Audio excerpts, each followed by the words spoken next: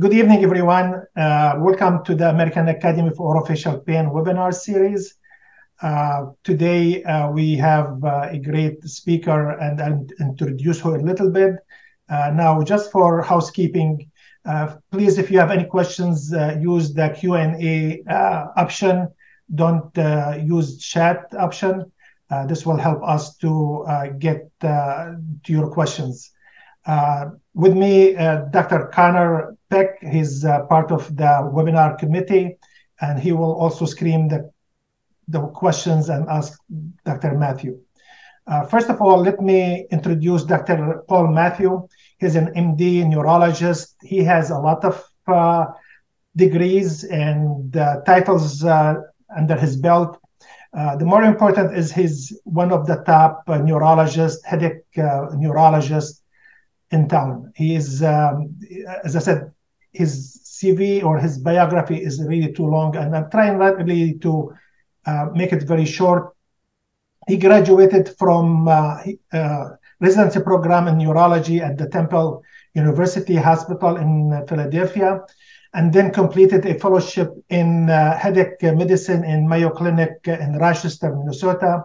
He is board certified in neurology and headache medicine. He is currently an associate assistant professor in neurology at Harvard Medical School and an affiliate member of HMS uh, Division of Sleep Medicine. So he knows it all.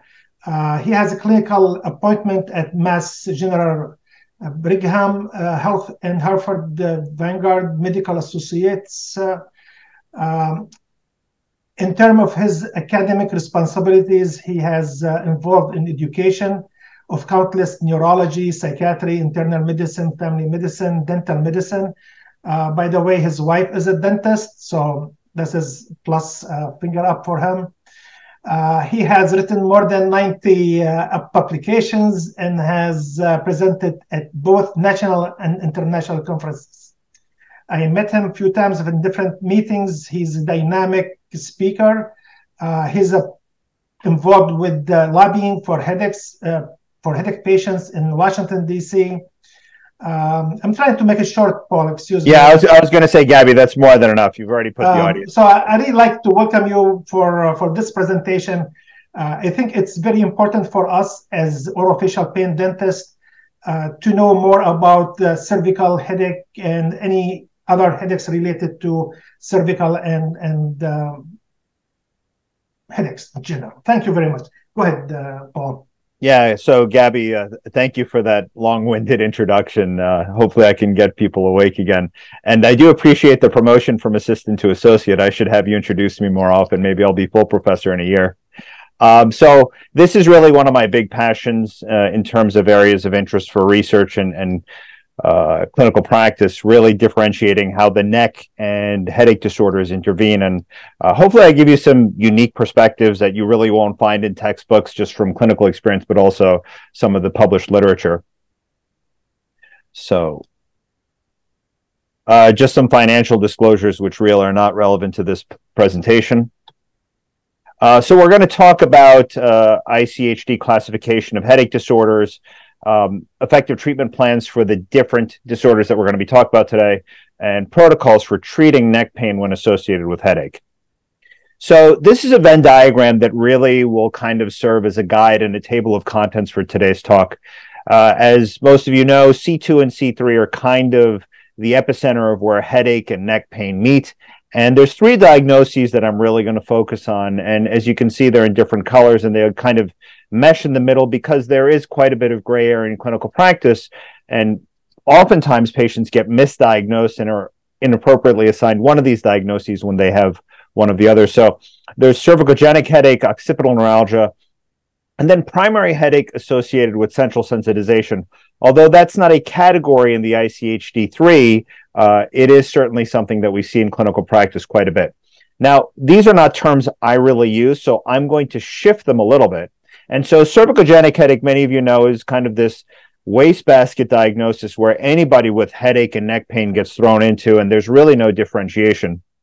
So I actually divide this into migraine with cervicogenic features and tension type headache with cervicogenic features because the vast majority of patients will get into this have a history of migraine or tension type headache and then at some point they develop some cervical pathology and then they get thrown into this wastebasket diagnosis of cervicogenic headache.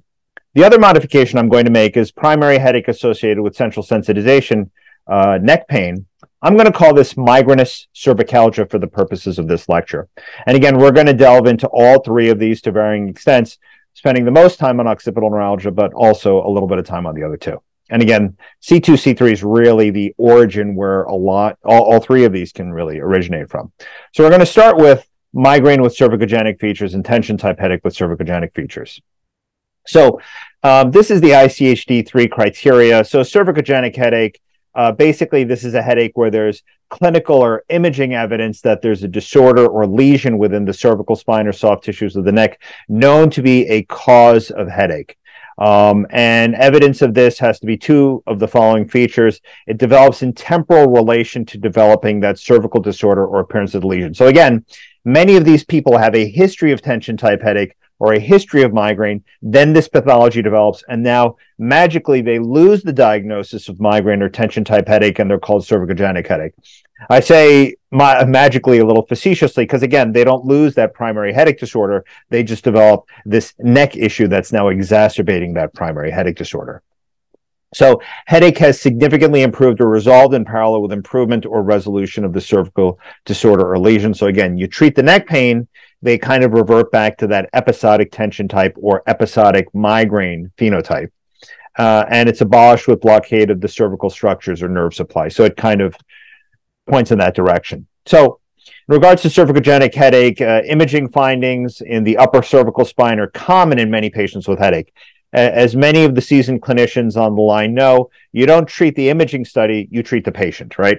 And so we'll often see patients who have horrible looking uh, radiological findings and really benign, mild uh, clinical presentation. And then on the other hand, people who have really, really tough clinical presentations with severe intensity pain and really minimal radiographic lesions. So again, our imaging study should really complement the clinical picture that we get from the history and from the physical exam. Um, so those are the first two bullets. Uh, tumors, fractures, infections, and arthritis can certainly all contribute to cervicogenic features or cervicogenic headaches. So if those things are present, you may want to think, okay, is there a cervicogenic irritant or trigger to these headaches? And, and again, um, like I said, C2, C3, the trigeminal uh, nucleus caudalis, these are where there's really an interface between um, the uh, cervical and the cranial inputs. So, according to the ICHD3, things that favor cervicogenic headache over migraine or tension type headache, and this is in the ICHD3, uh, side lock pain. So, if it's side lock pain, you really want to think about cervicogenic headache according to the ICHD3. But that doesn't really make sense, right? Because migraine, according to the ICHD, is a headache that tends to have a dominant side or a side lock side. So that really doesn't hold much water. Provocation of typical headache by digital pressure on neck muscles or by head movements. So again, I think this kind of accentuates the point that when you irritate that neck pain, it triggers their primary headache disorder and a posterior to anterior radiation of the pain. Again, very non-specific. And this is quoting the ICHD3. Migrainous features such as nausea, vomiting, photophobia, and phonophobia may be present with cervicogenic headache. So again, as far as I'm concerned, this is migraine with cervicogenic features. Creating a whole new bucket diagnosis for cervicogenic headache really doesn't make sense. And really, that's not how I identify them because at the end of the day, you end up treating their cervical pathology, but many of these patients do benefit from being on migraine specific treatments as well. So I don't want to dwell on cervicogenic headache too much because again, it does end up being kind of a waste uh, basket diagnosis. And we're going to get to it again when we do our wrap up at the end of this lecture. So occipital neuralgia is where we're going to be spending more of our time. So occipital neuralgia, as many of you know, with any neuralgia, these are lancinating stabs of pain lasting seconds at a time.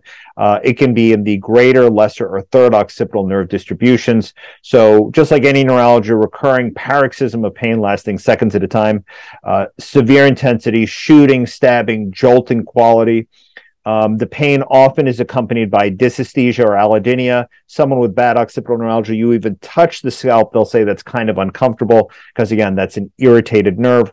Tenderness over the affected branches um, and trigger points or nerve blocks will typically resolve the pain, and that's part of the diagnostic criteria. So for those of you in clinical practice that perform occipital nerve blocks for the treatment of occipital neuralgia, it is absurd and completely incoherent that insurance companies deny occipital nerve blocks for the treatment of occipital neuralgia because it is part of the diagnostic criteria. That would be like somebody coming in with chest pain and saying, we're not going to pay for the EKG. Uh, obviously, that's an important part of the diagnosis, as is response to occipital nerve blocks for occipital neuralgia. So uh, one maneuver that's very useful in clinical practice is an occipital Tinel's. Some of you may remember in your training a Tinel sign in the wrist for carpal tunnel syndrome. So an occipital Tinel's, you tap from the inion across to the mastoid. When you hit just the right spot, the patient will typically wince in pain. And when you ask them, do you have pain where I tapped? Yes. Do you also have pain higher up in the back of the head? Yes that's a positive Tinel's. So somebody with just garden variety migraine or a neck problem may have some palpation or percussion pain locally, but that should not radiate to pain up above. Uh, so with a positive Tinel's in the occiput, you really want to look for that radiation of either pain or paresthesias along the distribution of the affected nerve. Again, whether that's the greater, third, or lesser occipital nerves. Also, many of these patients when you do the range of motion, when you get to the end stage of rotation or flexion extension, a lot of the time they'll say that reproduces the pain as well, depending on how intense the pain is. And when patients ask me, I tell them that nerve exits from your neck, runs through muscle, ligaments, and connective tissue, twists, and goes up the back of the head. So patients will often ask, you know, how did I get this? Commonly a sports injury, a whiplash injury, car accident, but also occupational hazards. People that do a lot of computer work over years or even decades in this kind of anterior hunch position, it does irritate those nerves and people can develop occipital neuralgia. And commonly, as you can see in the last line of this slide, these patients will come in saying, I have headaches and I've had pains. I know I might sound crazy, uh, but this is where you could very quickly step in and say, you know, we treat patients with headache and neck pain all the time. And commonly, you know, I will tell patients, no, I completely get it. There's a difference between headache and head pain. And when you explain migraine versus occipital neuralgia, it all does make sense to the patient as well. So as I gained interest in this subject, um, I did a literature search and I found this, which was published back in 2015. Uh, sorry, in um, 2011. This was a study conducted at the University of Southern California where they looked at 35 patients that presented with occipital neuralgia. And of those 35 patients, 15 of them had both occipital neuralgia and migraine. And this makes sense. Uh, a lot of the patients that we see in clinical practice, typically they'll have a story of, you know, doctor, uh, I've had episodic migraine my whole life. But around the age of 40 or so, they start to become much more frequent, much more severe. And instead of starting around the eye, they started to uh, begin around the back of the head. And then when you take a careful history, they will detail two different types of pain, occipital neuralgia and migraine. And some of them, you, you can really blow their mind and they'll say, so let me guess, you have some neck pain, you have this shooting, stabbing pain. Eventually, it becomes a steady, achy pain with jolts on top of it, which is common for neuralgias, including trigeminal neuralgia. And then, when that pain gets bad enough, you'll then start to get light sensitivity, sound sensitivity, and a throbbing, pounding headache. And they'll say, That's exactly what happens, doctor. And then you explain to them, Your neuralgia activates, and then when it gets bad enough, it hits a certain threshold, triggering the migraine to occur. Unfortunately, many of these patients, when they see uh, a dentist or physician, they'll say light sensitivity, sound sensitivity, nausea, and throbbing headache, and immediately everybody pounces on this must be migraine. Let me treat this as if it were migraine, when again, they're missing half of the picture. So as I gained interest in this subject, um, you know, serendipity happened. An eager medical student said, Dr. Mathew, I'd like to work on some research with you. So we looked at 800 consecutive patients that presented to um, the Cambridge Health Alliance headache clinic. So again, this is not the Mass General Brigham where it's a regional encatchment. This is a local encatchment. And these were 800 patients complaining of just garden variety headache, no specific diagnosis. Of them, 648 of them were women. And out of those 800 patients, 195 of them had a concomitant diagnosis of occipital neuralgia. So if you look at the numbers, that's about 25% of patients presenting to a headache clinic uh, have occipital neuralgia in addition to their other primary headache disorder. Without surprise, the most common was chronic migraine. And in this study, we found that about 75% of the patients with occipital neuralgia actually had a positive occipital Tinel sign. So an occipital Tinel sign can be very useful for helping to confirm the diagnosis, but it also reinforces to the patient this is the pathology when I tap there, this is why it happens, and really explaining to patients why uh, things happen from a clinical perspective is very useful for them to understand their own diagnoses. And when that happens, the educated patient is the one that's going to be more compliant with your treatment recommendations. So, in addition, we also found that uh, there was a correlation not only with chronic migraine, but also elevated body mass index and higher age of presentation. Um, so it was these older patients that had a higher BMI that were more likely to have concomitant occipital neuralgia, which again makes sense when you think about body habitus and how people over years and decades do practice poor posture, which can put strain on the occipital nerves.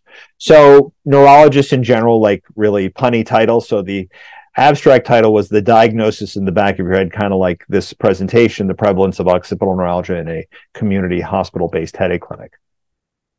So nerve blocks, as I mentioned earlier, are part of the diagnostic criteria for occipital neuralgia. They're generally safe, well tolerated in office procedures. Uh, they can be performed in patients who are having acute pain of many different types.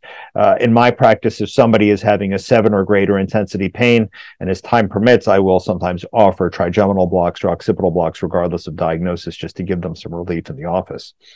Um, but uh, some um, nerve blocks do provide a longer duration of benefit than the anesthetic. Uh, I typically use bupivacaine just because it does have a longer time of action. Um, but as we will get to, um, some of these blocks do quite uh, last significantly longer. So blocks can be done, uh, performed with or without steroid, really across the board. The only time that in headache medicine we almost universally include steroid is with occipital nerve blocks for the treatment of cluster headache. Um, with anesthetics, there's lidocaine, bupivacaine, or oftentimes people do a combination. Like I said, if I'm going in to do a nerve block with the intent of long lasting relief, I do like 0.75% bupivacaine, but certainly you can do whatever you feel comfortable with.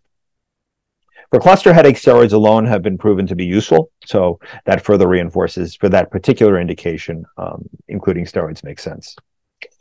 Um, as all of you know, if you are including steroids, you want to be careful in patients who have Cushing syndrome, glaucoma, uh, cutaneous atrophy, and alopecia um, are also problematic. I'll never forget, I saw a young lady in her 20s, and when she came to see me, she had four dime sized divots in her forehead.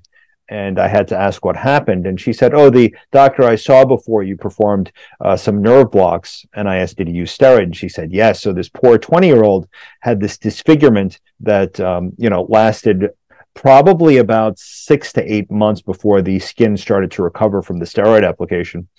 And when I reached out to the pain doctor that performed the injections, um, he kind of cavalierly said, well, that's just a, a normal complication of doing the injection. So I caution everybody, if you are going to use steroid, make sure it's in an area that's not cosmetic, like in the face, uh, or an area that's not easily hid by the hairline.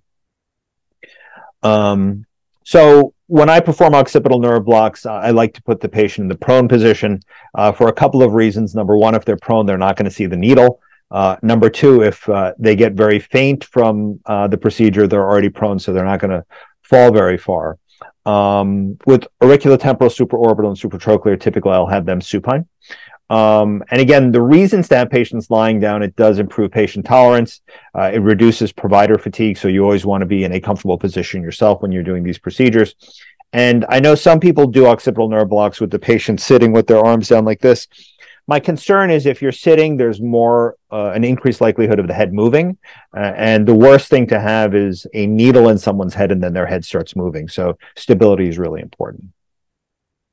So reasons to perform nerve blocks if a patient is having neuralgiform pain in a single nerve distribution like occipital neuralgia, it makes a lot of sense. In cervicogenic headache, it's not really isolated to a particular distribution, although it may still be helpful for the patient uh, in terms of giving them some pain relief. It may not have the yield that occipital neuralgia has. a termination of a bad migraine cycle. Like I said, for status migrainosus, sometimes I'll perform some blocks. But again, that's just going to break that particular cycle. There's not going to be a long term benefit. Cluster, we talked about. Uh, and again, if they happen to have pain in the office, I'll do a nerve block.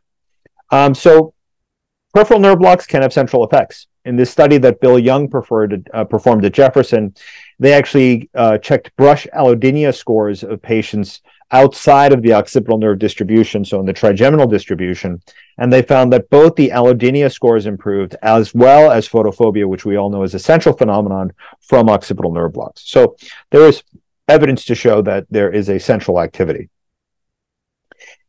So as I was performing these occipital nerve blocks on patients with occipital neuralgia, I, I realized that the duration of benefit was significantly longer than what I ever anticipated. Uh, there were patients who would come back for their two month, six month, one year, two year follow up. And they would say, um, Yes, I'm, I'm still having migraines. The medications you gave me are working quite effectively. But when I'd ask about that shooting, stabbing pain and their neck pain, they would say, Oh, ever since you did that injection, I have not had any further pain of that nature.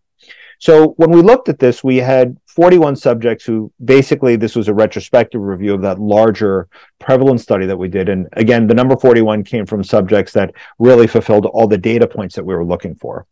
And so these patients received six cc's of uh, bupivacaine. And at the time, I followed the technique that what that was done at Mayo Clinic. So I did include triamcinolone in those injections and uh, the average age of these patients was 45. The BMI was 28.19, and the diagnosis: six out of the 41 had isolated occipital neuralgia, while the other 35 had a comorbid diagnosis, mostly chronic migraine.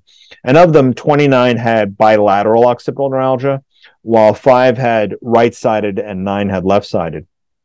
So, what we looked at is um, response to treatment. And we defined a positive response to treatment to a complete absence of that lancinating occipital neuralgia pain. And so out of these 41 subjects, there was an average duration of benefit of 206 days. And again, that's the duration of benefit, uh, the average in this group.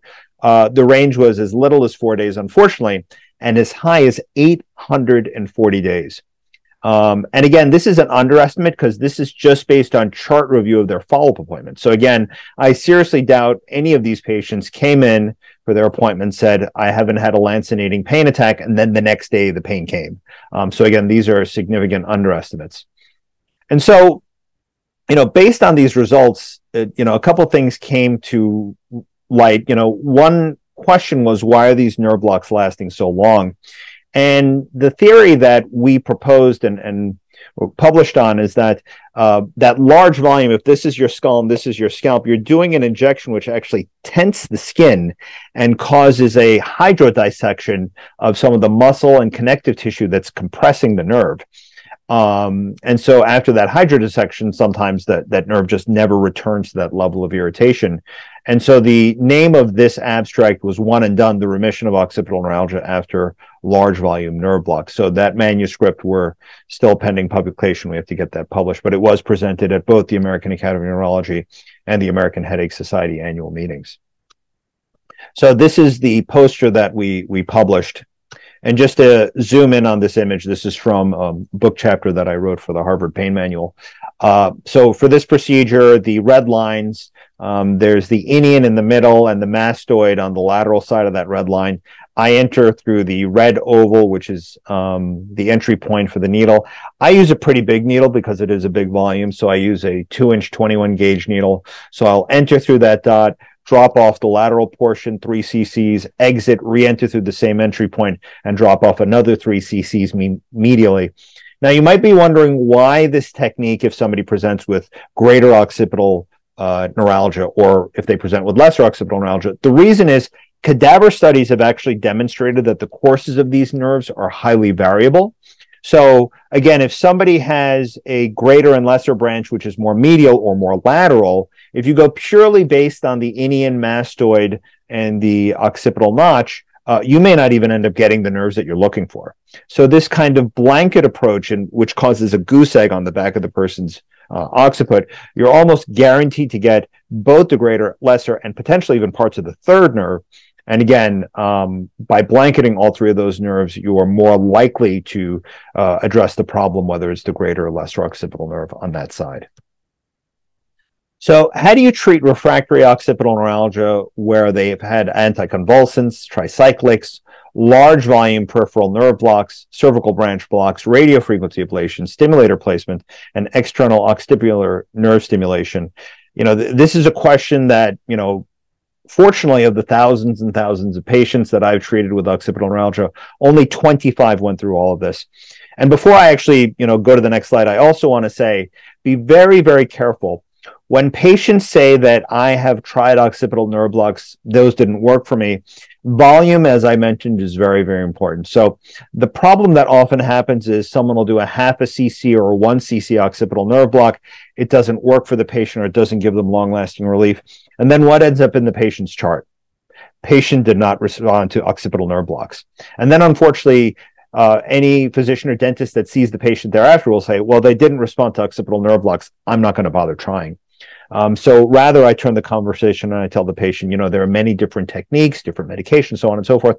Why don't we try it one more time? And uh, 100% of the time, the patient says, you know, that felt very different uh, and it seemed to work better. Um, so, you know, as we're often taught, don't go by what's in the record, go by what the patient says, the history. And if you can get your hands on the procedure, no, great. But even if you can't, it's very worthwhile to try, attempt the procedure again using a different technique. So, what do you do in patients who have failed all of these different treatments?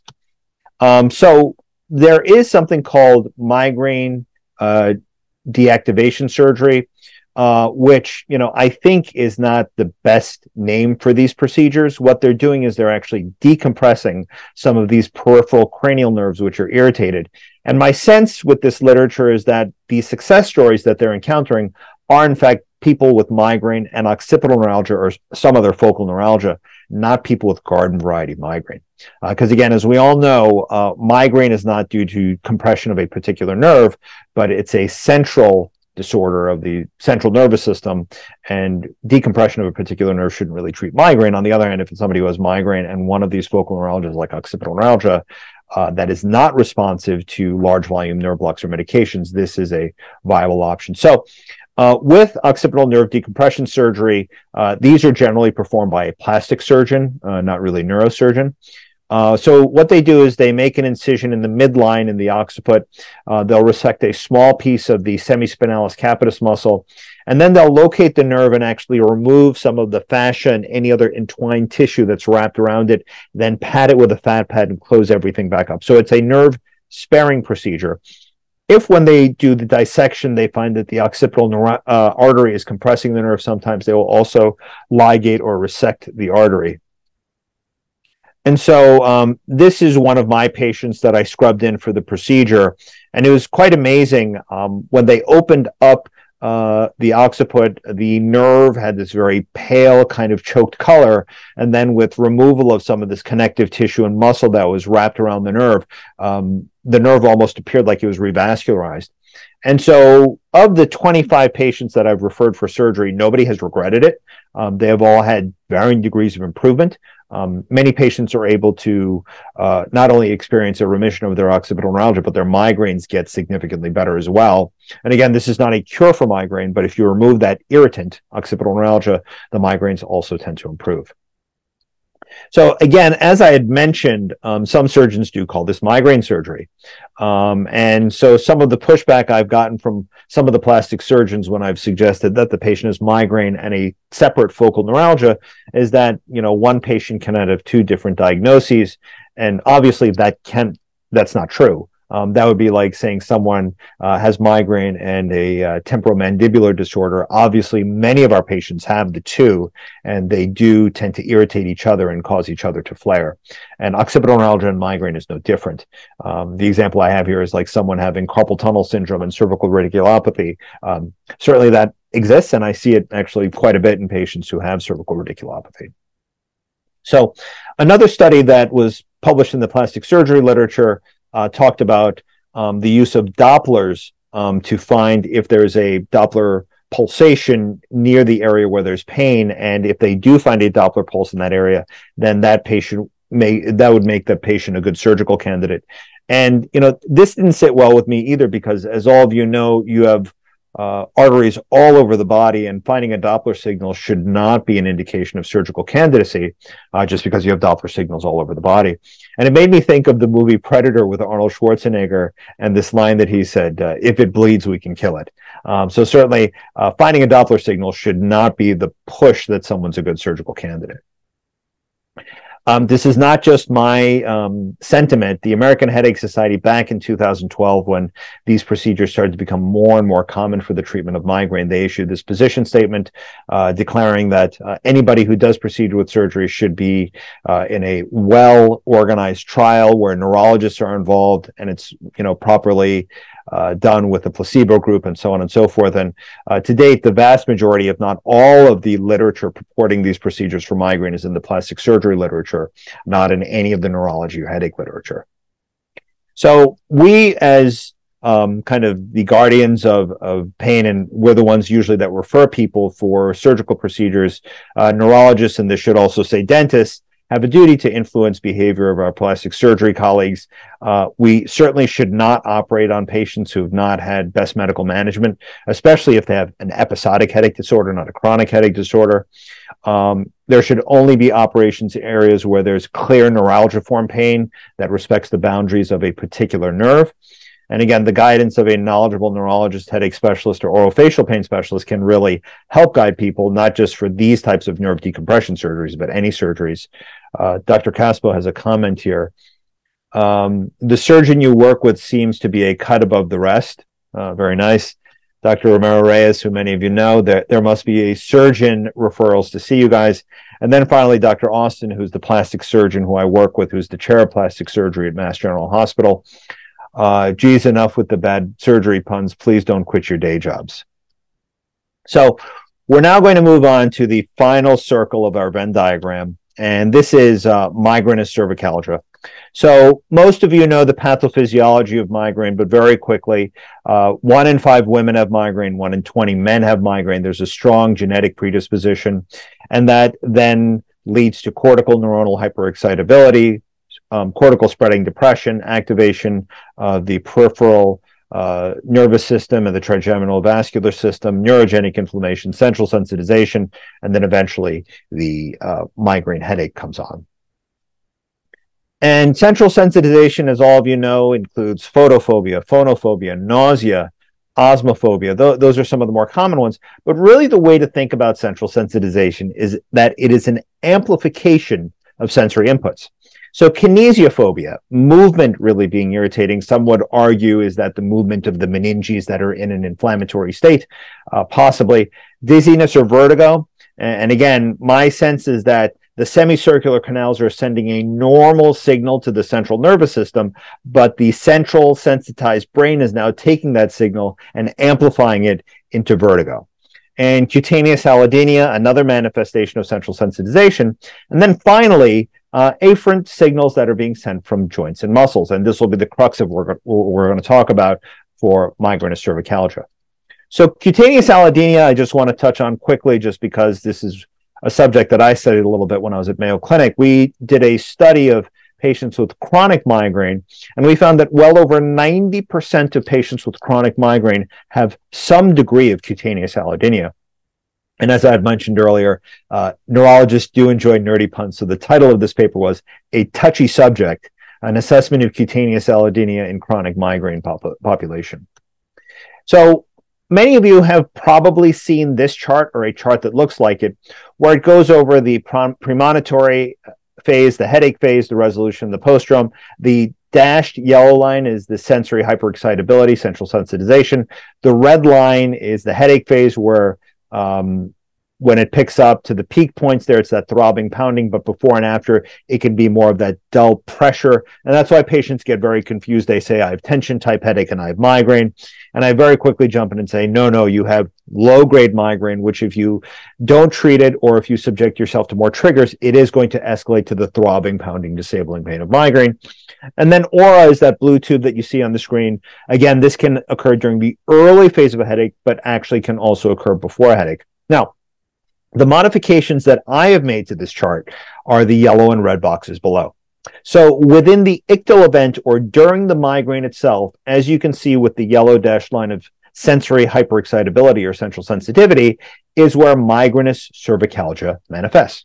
So these are patients that say, yeah, I really don't have neck pain, but every time I have a bad migraine, I have this horrible, horrible neck pain. So it only occurs ictally. And again, that's because of amplification of sensory inputs from their joints. They really don't have much significant neck pathology. They have some, maybe some mild DJD, DJD that they do not even appreciate between attacks. But when the migraine comes on, that gets amplified and they have this horrible neck pain. On the other hand, in the red box below that is cervicogenic headache as well as occipital neuralgia. So again, these are pains that occur between the ictal attacks. And again, when they are more prominent, they serve as a trigger for a migraine. And that's why you see that red bar extending outside of that migraine cycle. So is neck pain a migraine symptom? So one study that was done, they looked at 487 subjects with episodic migraine, 73% female, 77% had migraine without aura. And of them, 338 reported neck pain of some kind during the migraine phase. So that's about 70% of patients present with neck pain during their migraine. So 184 uh, noticed that the neck pain at the onset of a headache, and again, headache starts, neck pain starts, that's probably migraine cervicalgia. And then group B, or the second group, 118 patients, they reported neck pain within two hours before the headache phase. So could that be part of the prodrome? Uh, could that be cervical pathology that's manifesting before? Either could be the case. Uh, group B had a higher proportion of typical migraine associated symptoms and neck pain progressed into the headache phase in about 82%. So again, even those patients that had some degree of neck pain before the headache onset, it worsened during the headache, which again emphasizes how there's sensory amplification and this pain becomes more and more intense. So the bottom line is neck pain is a very common feature of a migraine attack and is more likely to be part of the migraine attack rather than a prodrome in patients where it seems to be an ictal event. So migraine and cervicalgia, you know, again, this is a pain that's exclusively ictal. Uh, the neck pain typically is proportional to the headache. So as the headache pain gets worse, the neck pain also gets worse. Between migraine attacks, uh, passive range of motion, active range of motion, contact, none of these things really exacerbate the neck pain because, again, they're not sensitized between attacks. They typically have a benign neurological examination. Physical modalities like stretching, massage really provide little improvement of this neck pain because, again, it's an ictal event. And rather than imaging and other studies, empiric treatment is warranted. So um, I'm just looking at the time. I have three cases. I think I can quickly run through them, uh, and so we'll still have some time for Q and A. So uh, I'm going to just kind of sprint through these because they do illustrate uh, what we've been talking about. So case number one: a 40-year-old woman presents to the office with headache, history of infrequent but severe headaches since the age of 14, holocephalic, throbbing, eight out of 10 pain uh, light sensitivity, sound sensitivity, nausea, vomiting. So again, this sounds very much like somebody with migraine. And then about 10 years ago, the headache started to become more frequent, more severe. Uh, she denies any trauma, illness, or any other triggering events. Uh, currently, she has daily headaches. Triptans, amitriptyline, topiramate have helped to some extent, but have not taken this pain away. So on physical examination, it is unremarkable except for a Tinel sign that she has over the right occiput, what other questions do you want to ask? If we were in person, I'd call on different people, um, but I'll jump ahead. Uh, does head turning or contact trigger this pain? Uh, is chronic neck pain and stiffness also an issue for you? They'll usually say yes. What do you do for a living?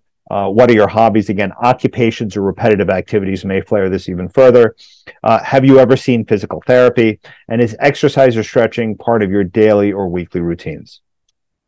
So, what diagnostic study would you do again if we were live? I'd pick on somebody in the audience and they would very wisely say a right occipital nerve block.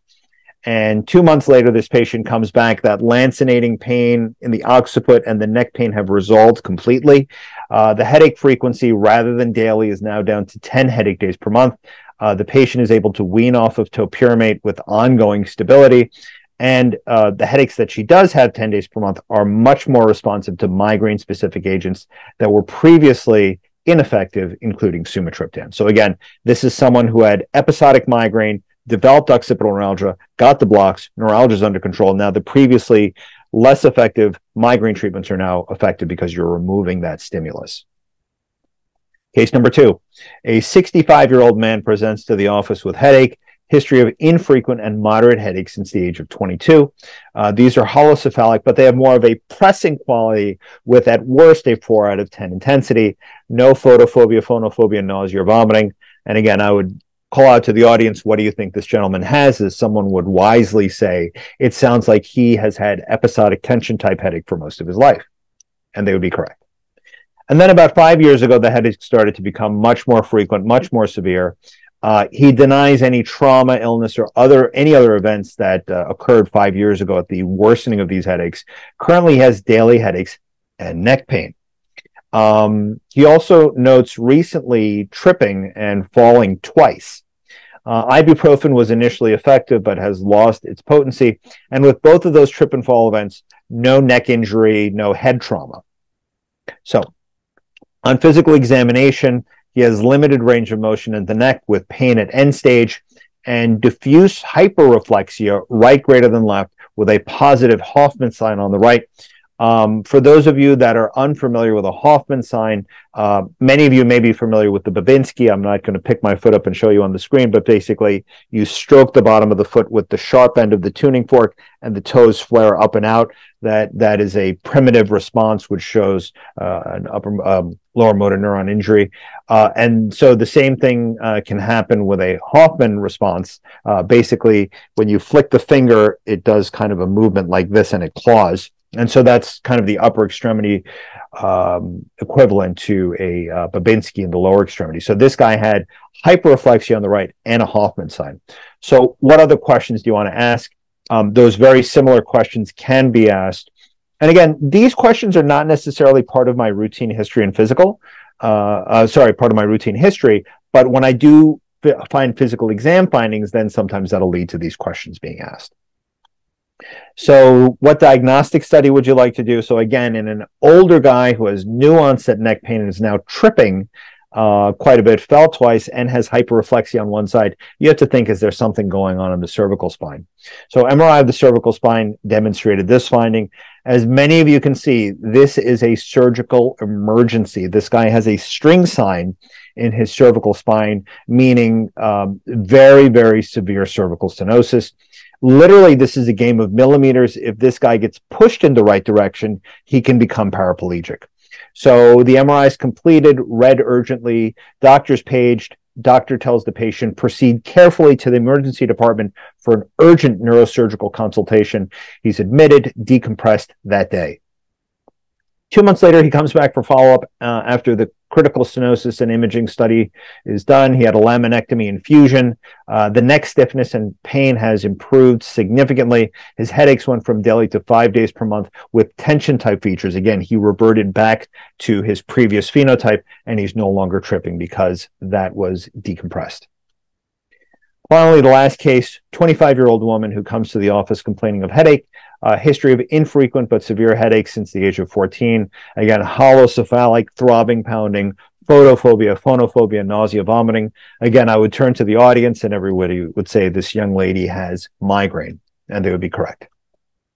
And then about a year ago, after starting residency, uh, the headaches started to become much more frequent, much more intense. She denies any trauma, illness, or any other triggering events. And currently, she has daily headaches with near daily neck pain as well. Again, daily headache, near daily neck pain. Triptans and NSAIDs have helped, but the pain always returns. Her physical examination was unremarkable. Um, and so, what other questions do you want to ask? Uh, you guys are, are very observant, uh, and so you may not be surprised to see the same questions are here. So, a young lady who has now daily headache and daily neck pain and previously before the daily headaches did not have uh, significant neck pain. So, what diagnostic study would you recommend? Uh, well, many of you are probably thinking, well, we already covered occipital neuralgia, we already covered a cervical. Uh, a cervicogenic headache case, so this must be a migraine a cervicalgia case, and your instincts would serve you correctly as you are ready to take a board exam because you're all expert test takers. And so um, the diagnostic study here would be to put the patient on an effective migraine preventative treatment. So two months uh, after follow-up, the patient is started on galcanezumab, which is one of the CGRP monoclonal antibodies. Her headache frequency improves significantly from daily to three to five days per month. And again, the big stressor for her was starting residency, and that's probably what triggered the migraines to occur more frequently. And again, her neck pain occurs less than once a month and only with her most severe headache. So again, daily headache on galcanezumab becomes three to five days per month. And only one of those days, which is a severe migraine, involves neck pain of any kind. So she discontinued the chronic massage therapy she was receiving because, again, her neck was fine. It was all migraine and cervicalgia. So, uh, to wrap up, and it looks like we're doing pretty good on time, um, there are many treatments for these conditions. Uh, medication trials, as all of you know, should start low and titration should be slow based on patient preferences and side effects. I personally tell the patient ignore the weekly increases on the prescription, but rather move at your own pace. If you start amitriptyline, for example, let them sit at 20 for as long as they want. And if they feel like they need to, and if they're not having any side effects, they can certainly continue the titration on their own. Uh, do not hesitate to refer the patient to another provider for treatments that you may not provide. So if you strongly think this person has occipital neuralgia, reach out to a pain doctor, neurologist, headache specialist in your area that performs occipital nerve blocks if you do not perform them yourself. Uh, combination therapies are typically the most effective. Uh, when I have a patient who has occipital neuralgia, I will recommend uh, physical therapy, uh, nerve blocks, as well as medications. So it's kind of a trifecta approach and what I tell patients is if you get a nerve block and your pain is in remission, fantastic. Uh, let's do these routine stretches for your neck to really keep the pain away. Um, that's the same advice I tell patients who get uh, spinal injections for lumbar radiculopathy or whatever it is. The interventions we do, we should really tell patients this is a way to help get your pain under better control, but really practicing good posture, good stretching, all the kind of lifestyle things that we recommend is really the way to keep that pain from coming back. And as I've mentioned, failure of nerve blocks in the chart does not mean failure of nerve blocks in reality. Uh, technique, volume, all these things are very important.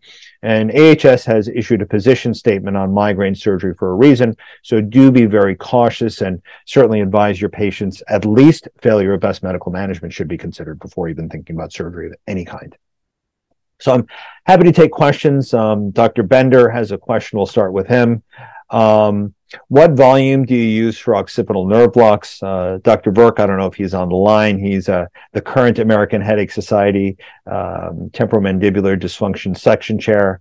Uh, let's see what he has to say. Uh, volume, the best volume setting for Dr. Mathew's, mute. Very clever, Dr. Burke. Uh, and then finally, my pitch, uh, please consider attending the American Headache Society Scottsdale Symposium. Um, I'm going to be running the cadaver course. I believe it's already sold out. Uh, but it is a fantastic course where we really reinforce the importance of understanding the anatomy, the structure, and the function, which really helps us to understand not only the pathology, but why we do what we do when we perform procedures in terms of technique, injections, medication, so on and so forth. Um, so uh, thank you all for your attention. Thank you for the invitation, and I'm happy to take questions. Thank you, Paul, for a great uh, presentation and great slides. Uh, we love it. Um, and um, we have a few questions. Um, Connor, if you want to start uh, with the Q&A. Yeah, absolutely. And and like Gabby said, just to piggyback, piggyback, thank you so much for the uh, the talk uh, and the um, the comedy uh, sprinkled in as well. So first question, G- Gabby knows I cut down on a lot of the cat comedy because I didn't want to run overtime. So uh, usually there's more. Well, we got we got plenty of good ones in there. So uh, first question is if an occipital neuralgia can set off a migraine. Would treating the occipital neuralgia prevent migraine in these patients, or would migraine arise on its own regardless? Yeah. So again, most of these people have a genetic predisposition for migraine. So eliminating occipital neuralgia should kind of fall into the same bucket as triggers. And when I talk about triggers, I use this visual. If this is where you start your day and this is what you need for a disabling migraine, if you didn't sleep all the night before, you start your day here. And then if you're under more stress, if there's weather fluctuations, there's hormonal fluctuations, your occipital neuralgia is acting up, boom, you'll get a full blown migraine. So really occipital neuralgia should be considered a trigger of migraine and it does work in concert with the other triggers. And triggers are things that will make it more likely that you're going to have a migraine. So unfortunately for many of these patients, if you're having daily occipital neuralgia attacks, that's just further prompting the migraine. And for many of these patients, if you give them a triptan, they will say, yeah, that throbbing, pounding part of my headache pain got better, the light and sound sensitivity got better, but it did not touch the pain in the back of my neck because again, that pathology does not respond to triptans and other migraine specific medications. Okay. Um, next question is in occipital neuralgia, is the nerve being irritated by the suboccipital and cervical musculature and fascia, or is it more of a compression force due to upper cervical and cranial extension from positioning um, and posture? And then the follow up would be if if it's more muscular, uh, have, have you seen benefit in in dry needling in terms of providing similar short term diagnostic data? Yeah. So, like I said, when I, when I have a patient like this, I will typically do a nerve block to kind of break the cycle, and then I will certainly encourage stretching as well. The problem with occipital neuralgia, and I, I kick myself for this. I actually did an MRI study looking at the occipital nerve in dynamic positions. I still have to publish it. And do you know what it showed for people with occipital neuralgia? Nothing. Mm nothing. It looked like just completely normal nerve. So the problem really becomes where is the pain? Is it as it exits the radicals? Is it in the neck? Is it in the occiput? And so that's why it's very useful to use this blanket approach. Sometimes I will also do some large volume trigger point injections along where the course of the nerve is. Because again, where exactly that pain is along the course of the nerve, it's difficult to say. And so when we talk about where the pathology is, I think it makes perfect sense um, to do stretches involving both the neck, the occiput. The two I particularly recommend there, there's the birdwatcher stretch, which you go into extension, and then while you're in extension, you are rotating. And then the tuck and tilt, which you go into retraction, and then you do some lateral flexion. Those really, really open up the radicals both for occipital neuralgia, but also for cervical radiculopathy. Um, so yeah, pinpointing is really a problem. And so blanket approach, you know, with many of these patients, I'll put them on an anticonvulsant, do their nerve block, educate them on stretching, and then I'll send them out. That way there's kind of a, a threefold approach. And then when they come back, if the pain's under good control, then I'll slowly wean them off the medication, but remind them you need to continue your stretching. Um, I need to ask a question um, to second uh, Dr. Bender. Uh, you talked about, or he asked, what Valium uh, do you use for occipital nerve blocks? Now, let's say, and I know you said six uh, uh, uh cc lidocaine and 20 uh, milligram triamcinolone. Now, does it happen that like you do it bilaterally or just unilaterally? So a, a, couple thoughts there. So first of all, when when we did that study, that was the technique that Mayo was doing at the pain clinic. I don't really use triamcinolone anymore. I only use bupivacaine because again, the thought is I'm not treating inflammation, but rather I'm causing that volume expansion or that hydrodissection. Uh, I do not do this procedure bilaterally in a single session because that is a very big, big volume.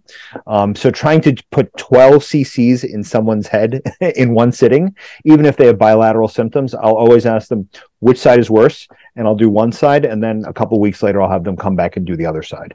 Um, Follow up question: How often do you repeat the same side? So it depends. Um, generally, patients, when I do a nerve block, um, if they get the pain back within a day or two, I I generally do not pursue another nerve block because I think it's probably just not amenable to that hydrodissection. If they come back like two months later and they say it started to gradually come back, I'll actually do it again and sometimes do a little bit more volume as they can tolerate. Uh, if they really had trouble tolerating the procedure, I'll actually do the same volume again. Because again, depending on where you put your needle, you might actually stretch different areas. And with each time, they may get a little bit more stretch. Most of my patients, when I do go in and do it the second time, it's not nearly as painful because already that area is a little dissected. But but yeah, like I said, um, you know, with these patients, it's a big volume, so I will across the board have them hang out in the office for at least fifteen to twenty minutes um, just to let them relax, recover, and then they can go on their own. Um, many of these patients, after six cc's, when you stand them up, they feel very dizzy, very lightheaded. So it's very important to keep an eye on them. And that's why I, I do not recommend bilateral simultaneous procedures, just because just doing one side is enough in terms of those side effects.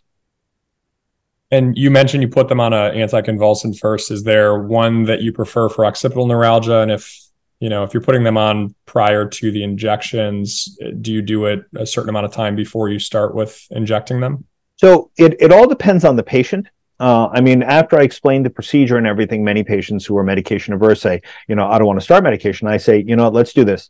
I'm going to send the prescription in. If you notice that pain just doesn't come back, obviously don't fill the prescription. If you notice within a couple of weeks, you notice the pain starting to come back, certainly you can start it then.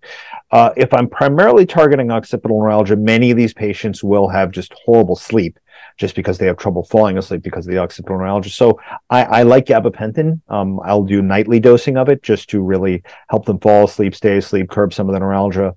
Um, if not that, I mean, tricyclics can be useful as well for the same reason.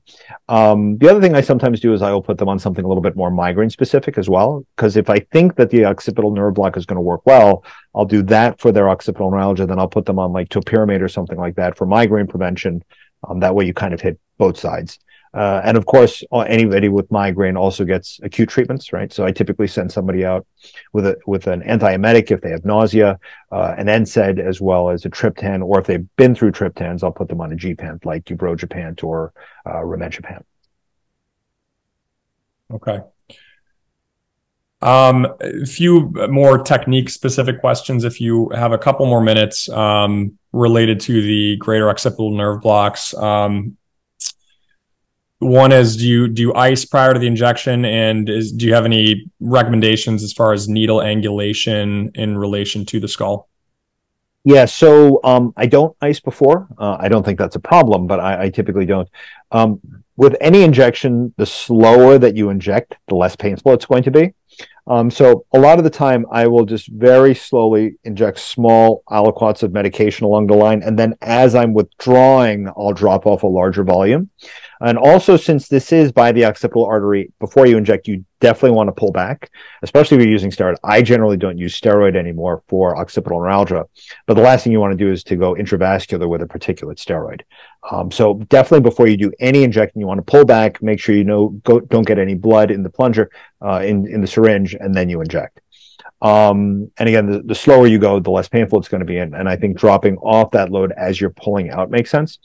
In terms of the angle, um, I typically do like a 45 degree angle. You want to be very careful. As you know, your skull is not flat. There's a slight curvature to it. And if you're at the wrong angle, that needle will actually come out the other side of the skin. And now you've just made a hole for the medication to come out of. Um, so yeah, you definitely want to be conscious of that. When I inject, I will actually use my non-injection hand when I'm injecting and I'll feel where the rise of the skin is and that'll tell me exactly where the tip of the needle is. And so I'll continue that till I get a rise right by the mastoid and then that tells me, okay, don't advance any further, pull out and drop off that load. And then I turn around and go in the other direction towards the inion, kind of following the same process. So again, feeling where that rises will tell you exactly where your needle tip is. And you're relatively safe as long as you're on skull base, right? Because generally the skull base is protecting you from the brain, from any large vascular structures or anything like that.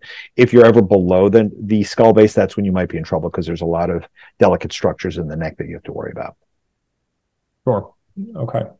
Um, maybe our last question, just for time. Um, there's a few more good ones, I think, but uh, one that just came in is uh, related to your, your comment on the uh, trigger point injections, you said sometimes you perform a trigger point injection. Um, so, what, if any, is the role that myofascial pain uh, plays in these cases, and how do we rule that out before coming to uh, one of the other diagnoses, including neuralgia? Yeah, so I called it a trigger point injection in name only. Um, basically, it's it's again a large volume injection where you perceive that nerve running where the Tinel sign is registering. So, uh, a trigger point is kind of a misnomer on my part. I mean, some people would call it a suboccipital block, but I would be very, very careful doing that. If you don't have any experience, you've never watched anyone do it, I definitely would not jump in to stick a needle in someone's neck, especially with some of the deeper structures. I think if you're on the skull base, you'll be relatively safe. Also, one other thing I did want to mention, if you do end up doing any large volume injections, warn the patient.